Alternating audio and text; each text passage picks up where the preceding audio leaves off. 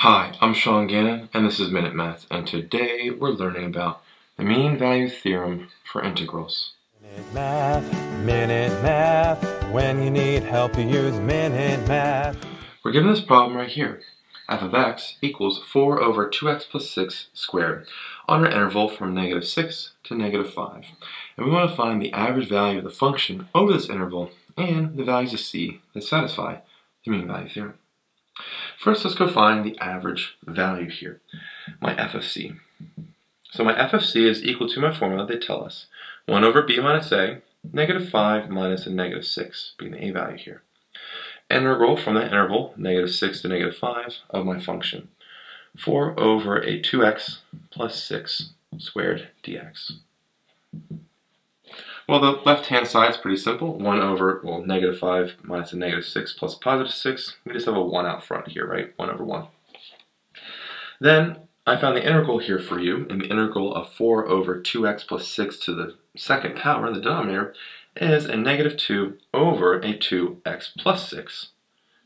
So the first power, excuse me, so just 2x plus 6. And we're integrating this from negative 6 to negative 5.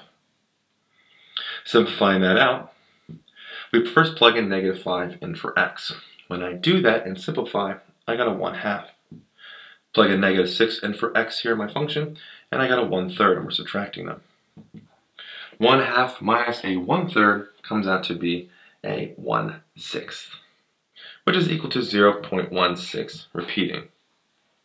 So 1 sixth is, you're ready here, the average value.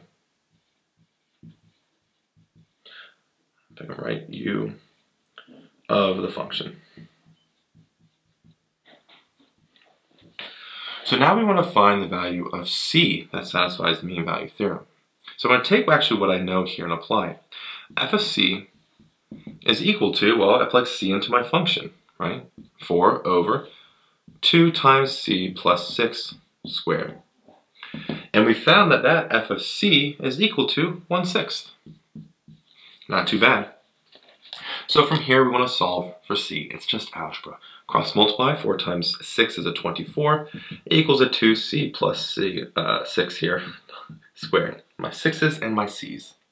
Square root both sides, and we have a, I'm going to flip it here, well, I'll do it first. Plus or minus the square root of 24 equals a 2c plus 6. Don't forget the plus or minus there, okay? When I flip it around, I'm going to subtract a 6 to both sides. So I have a 2c equals a negative 6 plus or minus, all right, so let's subtract a 6 to both sides. And the square root of 24 simplifies to be a 2 square root of 6, okay? From there, we have, well, I divide both sides by 2, and c equals a negative 3 plus or minus square root of 6. And now I want to see well which ones are within my interval here, and there's only one of them, the c value, the negative. So minus or minus 6. So negative 3 minus the square root of 6 is the only one of these two that's within our interval, and that's approximately a negative 5.449.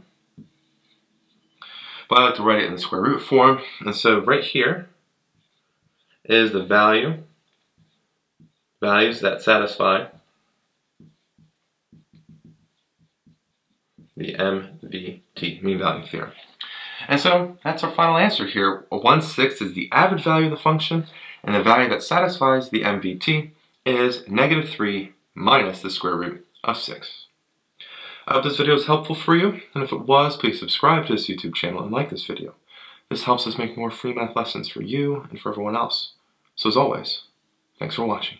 Minute Math, Minute Math. When you need help, you use Minute Math.